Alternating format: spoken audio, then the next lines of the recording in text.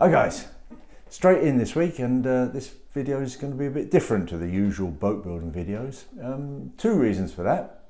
One, it's darn hot, um, too hot really to do anything on the deck. You might imagine just up under that lovely metal roof that we've got in this boat shed, it is, when, when it's hot outside, it's unbelievably hot just working under that metal roof. Um, so we've been trying to do a bit indoors. Perhaps you could just scan around and, and show the paint there, Kerry. Bit of paint and varnish has got on. Good. Where it's a little bit cooler in here, not too bad. But the other big reason, and it's, some, it's something I've been talking about in the last couple of videos, something I've wanted to do for quite a while, is to answer the most, the, the question that I get asked the most the question that I get asked the most is, is variations on what does it cost to build a boat of this ilk. So I should try to answer that question. Um, uh, do my best to answer that question to your satisfaction. It's perhaps harder than you might imagine to answer, but I'll, I'll, I'll come to an answer. I'll get there. I'll give you an answer. Um, one thing I should say, first of all, is I recorded the build with videos, but what I haven't done, I'm, I'm really not an enthusiastic bookkeeper and I haven't kept records of what I've spent. So this is from memory um, and a few approximations, but I'll try to be as accurate as I can. But I, as I say, I have not got records of this, so it's me remembering. The other thing that needs to be said is that um, I have collected over the years a, reasonable collection of boat parts, which if you haven't got that, you know, is going to be extra expense for your boat build. For example, all of these ports, seven bronze ports, I had, I'd collected.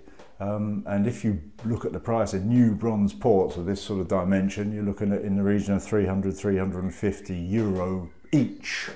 So I've got seven of them. I've put six in the boat so far. I'll probably put the seventh in. So, you know, there we go. There's, there's two and a half grand of bronze ports that I haven't had to spend money on. I had them.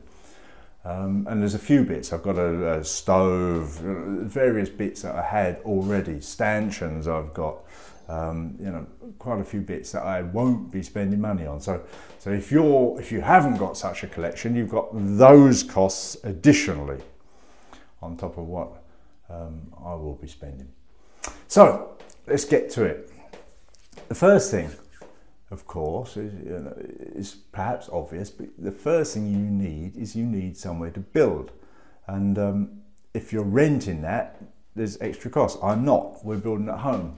Um, we bought this. We live in the, the, north of Germany in a village where property tends to be fairly cheap and, and roomy. Um, we bought this place some 22 years ago in derelict, spent 15 years fixing it up, uh, all do it yourself, hard labour of concrete and wheelbarrows and bashing out walls and all that carry on. So um, in the end, we got as far as fixing up the outbuildings. The two workshops you see in these videos are both, both been renovated by me, concreted floors by me, the whole thing. But the end result of that work is that we have this shed and the workshop next door to build this boat in and it doesn't cost us anything above what we pay on the mortgage, you know. so that's no costs I have. If you're building, if you're having to rent a location to build, you've got that cost on top. That's not going to be in this calculation. But let's get on to um, what it costs. Oh, perhaps I should say just before we get to that one, the other thing you've got to think about is tools. As I just said, I spent a long time renovating this place. I had a good collection of tools, uh, you know, the sort of tools that you've seen that are ordinary, everyday person's tools, nothing high tech. But I've got a good collection of, of hand tools and ordinary, regular tools. So I really haven't had to spend much on tools either. I've bought one or two bits for the build, but, but not much. But again, that's something else that if, you, if you've not got a great tool collection, you're going to be spending money on tools as well. Um, I hope that these videos have shown you that it is possible to build something like this with fairly ordinary tools, that you, you don't feel the need to go out, rush out and spend loads of money on the most high-tech pieces of equipment, equipment going. But, but that's your choice, I guess. But for me, I haven't spent much on tools. But the very last thing to say before we get to the numbers, of course, we will get there, is that um, these numbers I'm about to show you are for, for this boat. It's a 32 foot basically J. Benford designed sailing dory constructed out of plywood, uh, plywood planking on Douglas fir frames.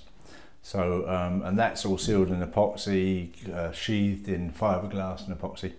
So these figures are for that boat. Let's have a look. So we've got our black background up, we've got item and price there to be seen and we'll fill in a few items and a few numbers into this. Um, plywood boat, so the first thing that springs to mind is some plywood and uh, I built her out of mainly out of 10 millimeter WBP exterior ply. The bottom has three layers of, of 10 millimeter ply laminated together. The sides, the deck, and the cabin are all two layers of um, 10 millimeter ply layered together, laminated together. Bulkheads are mainly 12 millimeter ply, single layer, except where they're exterior bulkheads, where they're double layered. Um, I've got a few sheets. I bought I bought about 80 sheets of 10 mil and a dozen sheets of 12 mil, and I've got a few sheets left over. So I think I've got enough plywood to complete the build, and I estimate that lot cost me in the region of 1,800 euro. Built in plywood, but framed in Douglas fir. Um, and I have to say I had a bit of Douglas fir in stock which I've tried to allow for in this number. But the Douglas fir and I've also included here the black locust that I bought for the for the trim exterior. I've calculated to be in the region of 500 euro. Um, I think that's about right and after that of course the whole thing is is um, sealed in epoxy and covered in glass cloth fiberglass cloth in epoxy I've bought the epoxy in not the cheapest way. I've bought it in um, gallon containers basically, or a gallon of resin with, with uh, half a gallon of hardener, roughly speaking. It would be much cheaper if you bought the epoxy in a barrel in a larger quantity. But that does involve having somewhere to set up your barrel and, and I found the convenience of the, of the gallon jugs yeah, outweighed it. So I've bought gallon jugs. Um, and I've estimated I've used in the region of 12 of those at uh, close to 100 euro a piece um, for the two pack that is the two component so 1200 euro I've put up there for epoxy glass cloth uh, I used a light cloth on the inside and the, the heavier six ounce cloth on the outside. I've put 500 euro up there for glass cloth which I reckon to be in the right region. So the ply layers and any other bare wood on wood, I've normally speaking, I've glued together with the Collano Semparoc glue and I reckon I've spent about 250 euro on Semparoc. And uh, of course that was all, or the ply layers at least, were fixed together using the silicon bronze um, Gripfast ring nails. And uh, I've allowed 250 euro for those. Um, various other fasteners that I used, so I used some, some bronze screws, I used uh, some threaded bronze uh, rod through the knee, uh, a couple of stainless bolts here and there and, and, a few stainless screws, not very many, but I've allowed another 250 there, so a total of 500 euro on fasteners I feel is about right. Moving on, um, bought various pieces of paint, bilge paint and some epoxy primer and uh, some paint undercoat. I've allowed 200 euro for paint um, and various pieces of metal, some bits of stainless to make the barrel roller fitting up, um, a couple of bits of iron or steel it was for the engine mounting plates, a few bits of metal, 100 euro on raw metal. I put two water tanks in the front of the boat, um, which come to roughly speaking 400 euro. Um, and then moving on, I've got the little day tank for diesel, uh, which cost me in the region of 50 bucks. Um, I did put those two ports looking forwards in. I've put in 250 euro for ports, the two stainless ports, non-opening. And there's the, the deck hatch that's uh, in the raised deck there, which cost about 300 euro. Then I bought some electrical equipment, um, battery box, the mains fuse for the shore power. That was a fairly expensive piece of kit. Um, some wire, some terminals, a few bits and pieces.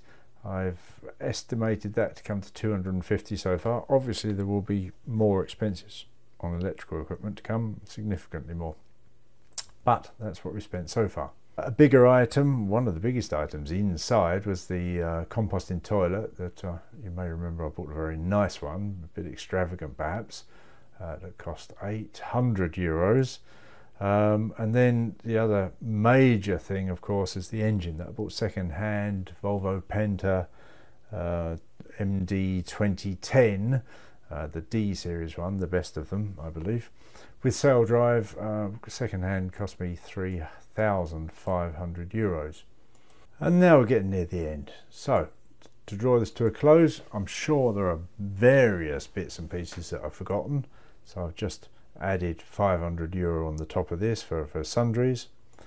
And that brings us all to a grand total of 11,100 euros, which is what I reckon it's cost me to get this far with the build. And and if we're honest the build is probably about halfway finished. And I can well imagine that's about half the expense.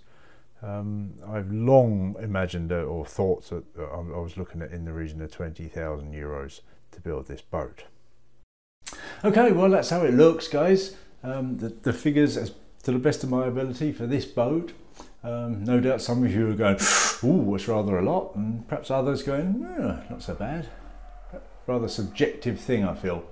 But there you go, numbers for this boat. Um, thanks for watching. If you like this sort of thing, you like what we do, you could consider perhaps supporting us on, on Patreon. As little as $1 a month will get you um, access to some you know, special features, also give you uh, the chance to request any extra information, video information you'd like to have. So Patreon from $1 a month. Uh, thanks for watching give us a thumbs up, leave a comment if you like, or if you're new here, perhaps subscribe. Good, thanks, bye.